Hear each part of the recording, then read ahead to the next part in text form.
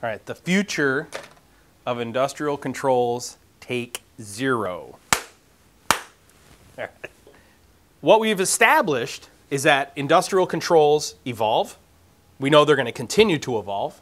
We know that the purpose of industrial controls will continue to evolve. We know that turning data into information is incredibly important. We know that we can make this smart and give it connectivity and not increase its end cost, the, the, the, the cost to the end user. In fact, we can probably bring it down because we'll sell more of them. Is this going to exist in 10 years? No. That's why every single sensor on the plant floor is going to be smart and it's going to be connected. Um, all right, so this video is actually it's gonna it's in response to some comments we got last week. Uh, there was a question that was posed to me on LinkedIn. Do I believe that at some point in the future all industrial sensors are going to be IIoT ready? Um, it, so does that mean that every device that's in the field is going to be IIoT ready in a state-of-the-art facility? The answer to that question is absolutely no doubt that at some point all sensors are going to be IIoT ready. Okay, so to drive home my point, I did respond on LinkedIn comprehensively, but to drive home my point, I, I want to run through a quick exercise. So we have to ask ourselves, you know, what is the future of industrial controls, right? So to answer that question, we have to answer the first question, which is, what is the present of industrial controls? So what is it? Why do we have industrial controls? Tell me the, the reason that we have industrial controls. So, so let's start with what are some examples of items that live within the industrial controls uh, ecosystem. So PLC, PLCs, sensors, gateways, yep, software, uh, HMIs. So, so that is the what. Okay, the what of industrial controls today are all these things. Okay, what's the why? Why do we have industrial controls? To produce, automate. Okay, to automate. Uh, when we created, when we created the first PLCs and the first digital HMIs, what were PLCs and HMIs? What were they replacing in the space? Uh, manual push buttons. Right, Pu push buttons and relays. Right. So we evolved from push buttons and relays to PLCs and HMIs. Why did we do that? It was cheaper to put to reconfigure the screen than it was to re-drill a new panel and put new buttons. And also mechanical devices fail. Relays fail, push buttons fail. It takes a long time to find a failed relay. Okay, so that's why originally they came out with relays that gave you light indications that there was some type of failure in the coil, right? Was so that you could find them quickly. So you reduce downtime by using PLCs instead of relays for all relay control for all your process control, right? It's also very, very difficult once you do the process control as relay control to reconfigure it or to add on to it, right? So, but PLCs and HMIs replaced relays and push button panels, okay? So the, the why of industrial controls for today, and we're, we're including PLCs and HMIs, is we want to automate, okay? We want to do things safely. What else? What are, what are the other reasons we have industrial controls? We just want to control things. We may not do it automatically, right? We want to have the ability to turn fans on the ceiling off, on and off. We want to, we want to make sure that we want to, we want to do, put a set point on a thermostat and have our AC unit turn on to keep the, to control the relative humidity inside of our plant to optimize our process, right? So we want process optimization, okay, and control. What's one of the things that's not listed on here? Uh, data collection. Yeah, data collection and analysis. Why? Well, probably because the first ones didn't do that very easily, or No one even thought of it. How did they how did they do data collection and analysis? chart recorders. They did you right, exactly. So the old way was they used chart recorders and sneakerware. They would have in they'd bring interns in. I mean, I've worked for companies that did this. You bring interns in, you give them a clipboard and a piece of paper, you tell them to walk out and take an, a sample of this temperature set point every 10 minutes and bring it back to me. Okay. So ultimately, what ended up happening is with the this is Industry 3.0, right? With Industry 3.0, we learned that because we have PLCs, because we have HMIs, because we have software, okay, because we have embedded controllers, we could start collecting that data automatically instead of using sneakerware for it. Okay? So then, so That happened after? that happened. That happened after the evolution. So there, the, the data collection and analysis was not part of the thinking creating PLCs and HMIs. And all and to, to I'll drive home my point.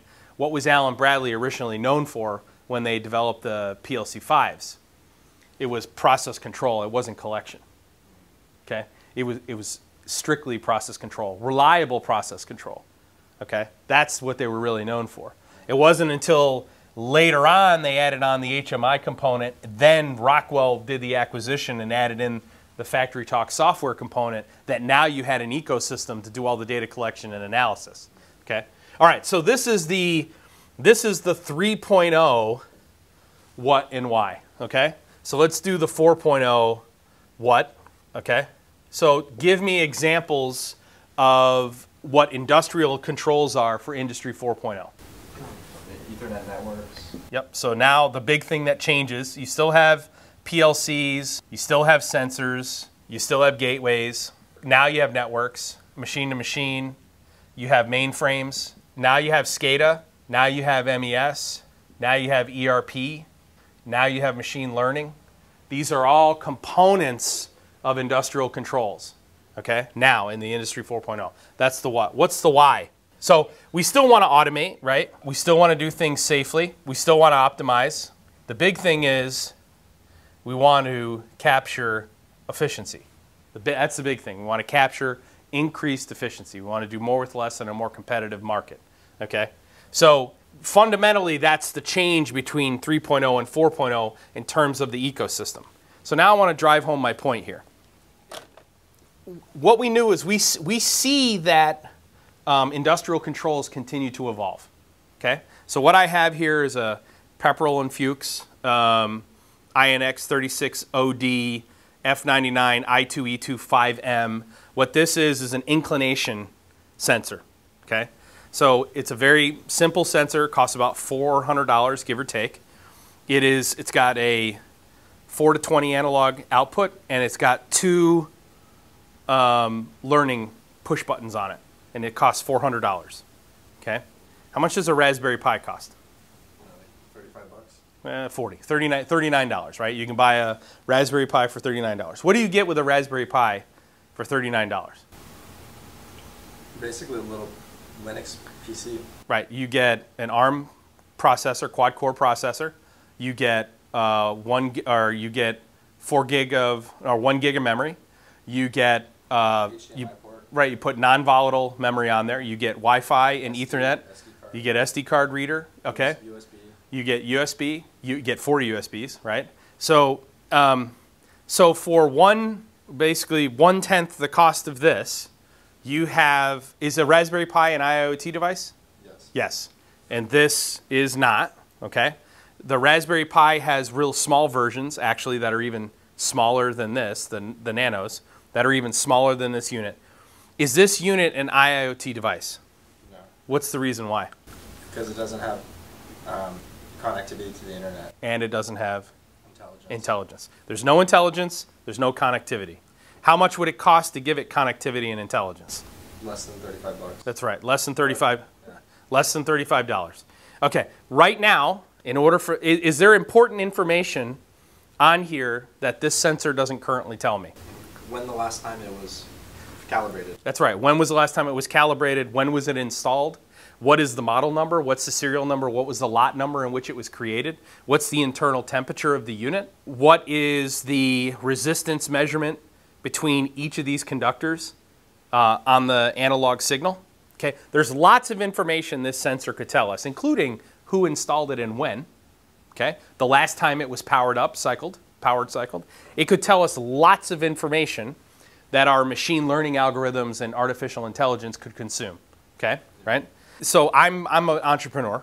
Okay, and I own Pepperl and Fuchs. Okay, and I know right now that my cost to manufacture this is probably a hundred bucks. Let- Let's you know, and it's not, but let's say it's a hundred dollars, and I'm selling it wholesale to my distributor for two hundred dollars. And my wholesale distributor is selling it for somewhere between $250 and $400. Okay? How much would I increase the cost of this unit by giving it connectivity and intelligence? Do we believe we could get it connectivity and intelligence for less than $30? Yeah. Okay. And when we start talking about scale, economy of scale, we can drive that cost down even further. So, will somebody, will some entrepreneur look at those numbers and say that is, that's a good investment in this sensor? Could I, could I give this intelligence and could I give it intelligence and connectivity and not increase the final cost to the end user at all? Yeah, you could. I could, right? Because that additional cost is so marginal that I could make it intelligent and give it connectivity and still sell it for the exact same amount to my end user. Now let me ask you this question. If I told you that I had this unit, which is 4 to 20 analog out, it's an inclination sensor, it does full 360 degrees. It's 4 to 20 out and I have two I have to do manual set setting of the sensor, okay? And I don't get any other data collection from it whatsoever because where does this have to go? This either has to go to an embedded controller to do closed loop control or it's got to go to a PLC. And if I want to get any additional information up my stack, especially into machine learning, it's got to go from here to a PLC, from a PLC to a broker, and from a broker to machine learning. Okay? There's no unified namespace in there at all. Someone is going to make this IIoT ready. Someone, so someone's going to make this IIoT ready. Okay? And someone's going to sell it for the same price that this one costs right now. And I, I'm going to be able to choose between IIoT ready inclination sensor or non IIoT ready inclination sensor. Which one are you going to buy? Everyone knows that the word IIoT is important. You're going to buy the IIoT ready one. So, what we've established is that industrial controls evolve. We know they're going to continue to evolve. We know that the purpose of industrial controls will continue to evolve. We know that turning data into information is incredibly important. We know that we can make this smart and give it connectivity and not increase its end cost, the, the, the, the cost to the end user. In fact, we can probably bring it down because we'll sell more of them. Is this going to exist in 10 years? No. That's why every single sensor on the plant floor is going to be smart and it's going to be connected.